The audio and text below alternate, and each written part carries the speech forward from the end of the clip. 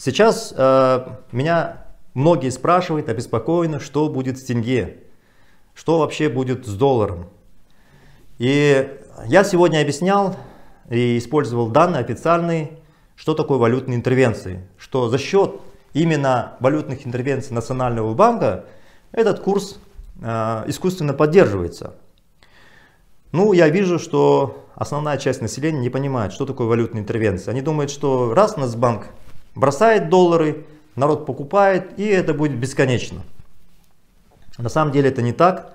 Нужно знать, что у Национального банка есть ограниченные валютные ресурсы.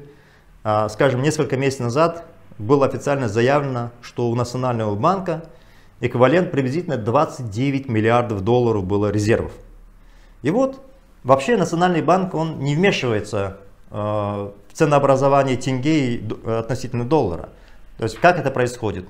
Нефтяные компании или другие экспортные предприятия продают свои продукты на Запад и получают валюту, доллары США. Им нужны тенге, нужно платить зарплату в тенге, нужно платить налоги в тенге. Поэтому они эту валюту выставляют на биржу. Банки, покупает эту валюту по заявке своих клиентов. Ну, кто такие клиенты? Торговые компании, которые импортируют продовольствие, одежду. Они покупают, дают тенге Национальному банку, а, точнее этим компаниям нефтяным. Тогда а, получается эти компании получают валюту и импортируют тот или иной товар из-за рубежа. То есть как в нашей стране появляется валюта? За счет того, что Наши экспортные предприятия торгуют своей продукцией на Запад. Ну и, собственно, они предлагают валюту, а компании покупают валюту у них за тенге. И все это происходит на бирже, валютные так называемые биржи. А, Национальный банк, по сути дела, не должен участвовать в этих операциях, то есть цена тенге должна складываться на основе предложения и спроса. Продавцы валюты выходят на рынок, если этой валюты мало, а желающих купить много, начинается аукцион, и цена взлетает, то есть тенге начинает слабеть. То есть сегодня э, эту, эти доллары можно было купить за 300, начинается аукцион, желающих купить много, и в итоге цена становится, например, 500.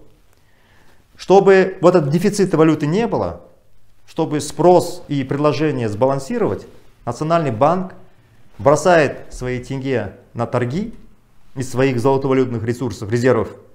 И получается, что тогда он таким образом искусственно удерживает цену. То есть, если тысячу было покупателей валюты, здесь было э, меньше валюты, 800, условно говоря, продавцов, он прибегает, добавляет и выравнивает спрос предложения.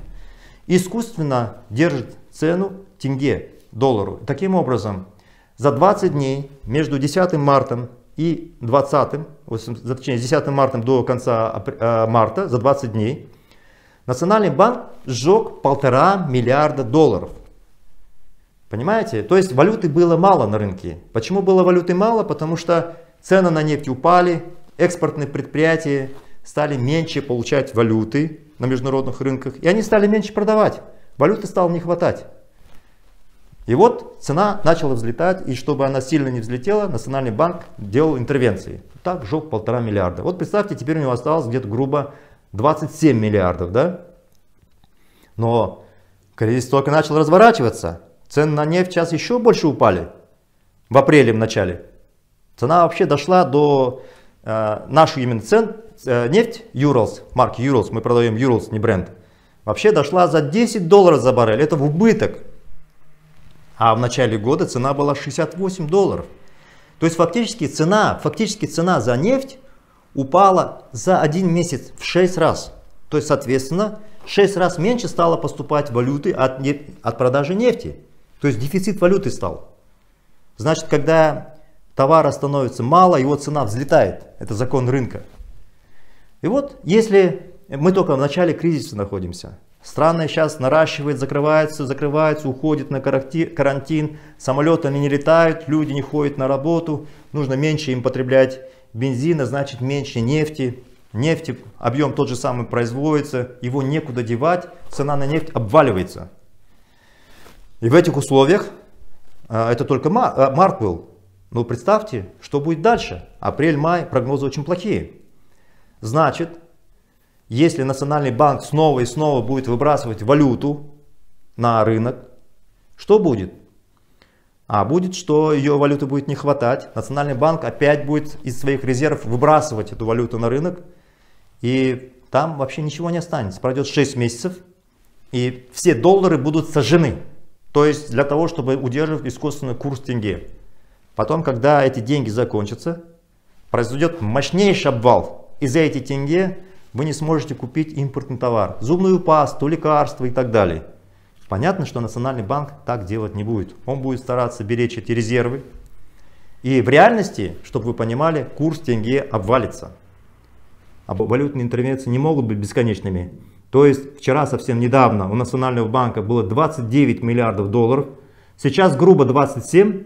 Через несколько месяцев, если он будет такую же политику проводить, вообще долларов в стране не останется у Национального банка. Национальный банк не может этого допустить, поэтому в какой-то момент прекратит эти интервенции. Ну, месяц-два пройдет, прекратит интервенции, или будет очень мало делать, и поэтому тенге будет падать вниз.